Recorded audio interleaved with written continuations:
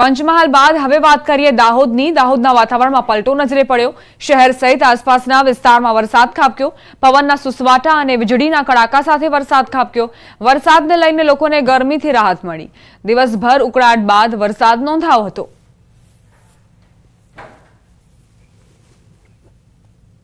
સાબરકાંઠામાં લાંબા વિરામ બાદ વરસાદી માહોલ જામ્યો. ગાજવીજ અને પવન સાથે વરસાદ વરસ્યો. અસહ્ય ઉકળાટ બાદ વરસાદી માહોલ છવાયો. ખેડૂતોમાં ચિંતાનો માહોલ ઊભો થયો. હિંમતનગરના હડિયોલ ગઢોડા આકોદરા કેસરપુરા સહિતના ગામડાઓમાં વરસાદ વરસ્યો હતો.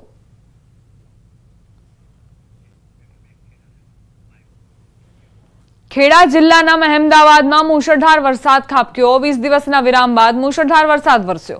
વીજળીના કડાકા ભડાકા સાથે વરસાદનું આગમન. ઉકળાટ ભર્યા વાતાવરણ બાદ વરસાદ વરસતા ઠંડક પ્રસરી.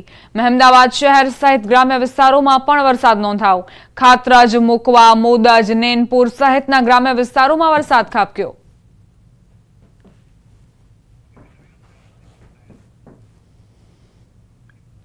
સમાચાર અમદાવાદથી પ્રાપ્ત થઈ રહ્યા છે. પ્રહલાદનગરમાં વરસાદ વરસ્યો છે. પવન સાથે વરસાદી માહોલ જામ્યો. પવનની ગતિ પણ વધુ નોંધાઈ. વરસાદથી વાતાવરણમાં ઠંડકનો અહેસાસ અમદાવાદીઓને થઈ રહ્યો છે. કારણ કે ગરમી અને બફારાના કારણે અમદાવાદીઓ પરેશાન હતા. સવાર દરમિયાન તડકાએ પણ પરેશાનીનો સામનો કરવા મજબૂર કર્યા હતા અમદાવાદીઓને અને હવે વરસાદની એન્ટ્રીથી જ ઠંડકનો અહેસાસ લોકોને થઈ રહ્યો છે. અમદાવાદમાં ફરી વરસાદી માહોલ જામ્યો છે. લાંબા વિરામ બાદ વરસાદ વરસતા વાતાવરણમાં ઠંડક પ્રસરી. ભારે ઉકળાટ અને ગરમીથી અમદાવાદીઓને થોડી રાહત મળી છે. અમદાવાદના કેટલાક વિસ્તારોમાં વરસાદ નોંધાયો. ચાણક્યપુરી, ઘાટલોડિયા સાયન્સ સિટીમાં વરસાદ, ભારે પવન સાથે ધોધમાર વરસાદની એન્ટ્રીથી લોકોને ઠંડકનો અહેસાસ થયો.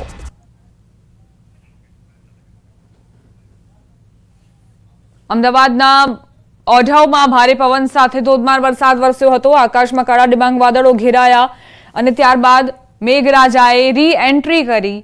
વિઝિબિલિટીમાં પણ ઘટાડો જોવા મળ્યો છે. પવનની ગતિ પણ ખૂબ જ તીવ્ર નોંધાઈ હતી. ભારે પવન સાથે ઓઢાવમાં વરસાદ ખાબક્યો હતો.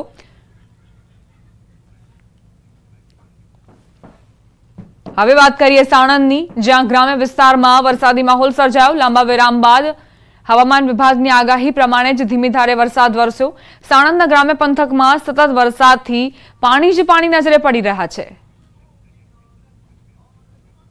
રાજ્યમાં ભારેથી અતિભારે વરસાદનું એલર્ટ છે. અતિભારે વરસાદથી પૂરની સ્થિતિ સર્જાવાની સંભાવના. રાજ્યના નવ જિલ્લામાં પૂરના એંધાણ. વડોદરા પર ફરી પૂરનો ખતરો તોડાઈ રહ્યો છે. ભરૂચ, દાહોદ, નર્મદામાં પૂરનું જોખમ.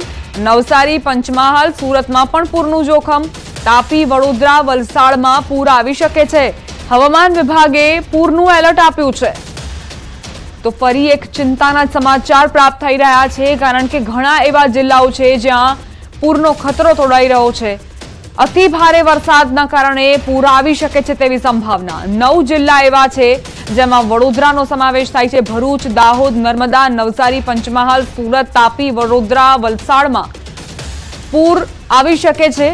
પૂરના ખતરામાં નાગરિકોને સાવધાની રાખવી પડશે.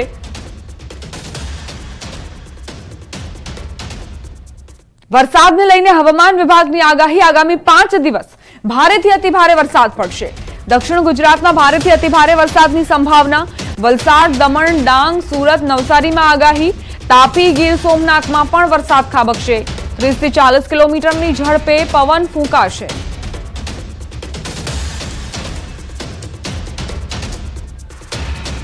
दिन तक भारी टू अति भारी बरसात का संभावना है। इसमें आपका गुजरात रीजन जो है वाइड स्प्रेड बारिश है अगले पाँच दिन तक और अगले, उसके अगले दो दिन फेयरली वाइड स्प्रेड है और सौराष्ट्र कच्छ के लिए अगले दो दिन स्कैटर्ड रहेगा और उसके अगले तीन दिन फेयरली वाइड स्प्रेड रहेगा और उसका लास्ट जो दो दिन रहेगा।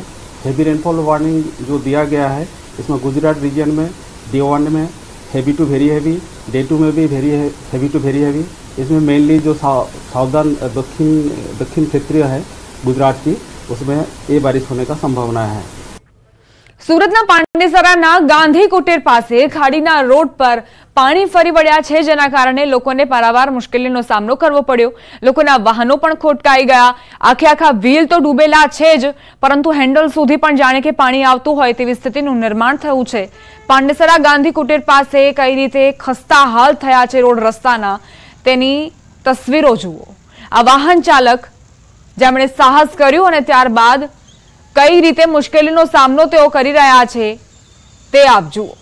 આખે આખું જાણે કે વ્હીકલ પાણીની અંદર ડૂબેલું છે, જળ સમાધિ તેણે લઈ લીધી છે, પરંતુ યેન કેન પ્રકારે આ જે ચાલક છે, તે અહીંથી પસાર થવા માટે મજબૂર છે. કોઈ તો તેમણે તોડ કરવો પડશે, કોઈ તો ઉકેલ લાવવો પડશે, જેથી આ રસ્તા પરથી તેઓ પસાર થઈ જાય અને પોતાના ઘર સુધી પહોંચી શકે. પાણીમાં વાહન ચાલકો કઈ રીતે ફસાયા છે તે જુઓ. હેડલાઇટ ચાલુ રાખીને આ વાહન ચાલક અહીંથી પસાર થઈ રહ્યા છે. કમર સુધીના આ પાણી વહી રહ્યા છે અને તેમાંથી વાહન પસાર કરવું મુશ્કેલ. જો થોડું પણ સંતુલન બગડે, તો આ વાહન ચાલક અકસ્માતનો ભોગ બને.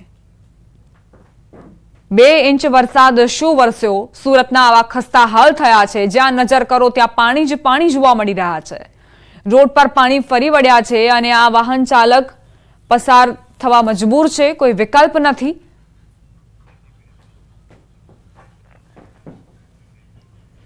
રાજ્ય સરકારે ખેડૂતોના હિતમાં મહત્વનો નિર્ણય કર્યો. મગફળી સહિતના પાકને પિયત મળી શકે તે માટે સરકાર દસ કલાક વીજળી આપશે. સૌરાષ્ટ્ર અને કચ્છ જિલ્લામાં મગફળી અને અન્ય પાકોને બચાવવા ખેતી માટે ખેતીવાડીના દરેક ગ્રુપને દસ કલાક વીજળી અપાશે. ઊર્જા મંત્રી કનુભાઈ દેસાઈએ આ જાહેરાત કરી. જે વિસ્તારમાં પાણીની તંગી છે અને પશુઓને લઈ ડર છે, તેવા વિસ્તારોમાં વધુ વીજળી અપાશે. મુખ્યમંત્રીને રજૂઆત કરીને જીઆરસી ઓર્ડર લીધો છે.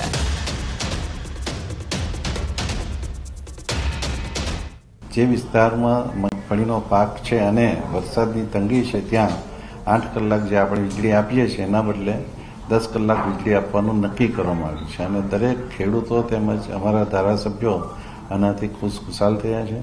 જે વિસ્તારમાં હજી પણ વીજળીની તંગીના લીધે કે પાણીની તંગીના લીધે પાકને નુકસાન નહીં થાય એ જોવાની જવાબદારી પણ સરકારે નક્કી કરી છે. જામજોધપુર માનાવાદર મંથલી, મેદરડા, કેશોદ, માંગરોળ, માળિયાહાટીના તાલુકા તેમજ આખો કચ્છ જિલ્લો જ્યાં મગફળી અને બીજા પાકો માટે સતત પાણીની જરૂર હોવાથી વીજળીનો વપરાશ વધારવા માટે આ એક આયોજન કરવામાં આવ્યું છે. ઊભા પાકને બચાવવા જરૂર જણાય ત્યારે મોંઘા ભાવના ગેસ એકમોમાંથી પણ વીજળી અપાશે. કેન્દ્રીય ક્ષેત્રના જનરેટિંગ સ્ટેશન, એક્સચેન્જ અને રિયલ ટાઈમ માર્કેટમાંથી મોંઘા ભાવે વીજળીની ખરીદી કરીને ખેતીવાડી ક્ષેત્રે દસ કલાક વીજળી પૂરી પાડવામાં આવશે. દરેકને દસ કલાકની વીજળી દસ દિવસ માટે આપવાનું નક્કી કર્યું છે અને વધારે જરૂર પડશે તો એનો પણ નિર્ણય કરવામાં આવશે. આ વીજળી માટે આપણે અગાઉનું પ્લાનિંગ કરેલું હતું. આપણે ગેસ પણ સ્ટોકમાં રાખેલો હતો.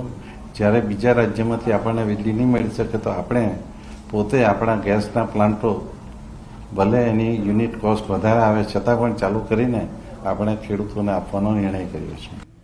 વડોદરાના વણિયાદ ગામે પાંચસો વીઘામાં